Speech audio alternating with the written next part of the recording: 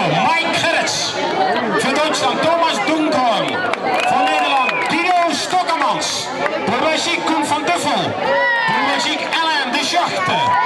Voor Nederland Tom van Dinter. For the United States of America, Mr. Gunslinger Ronnie Alini. And finally, for the Netherlands, Jeffrey Bignell. Guys, success.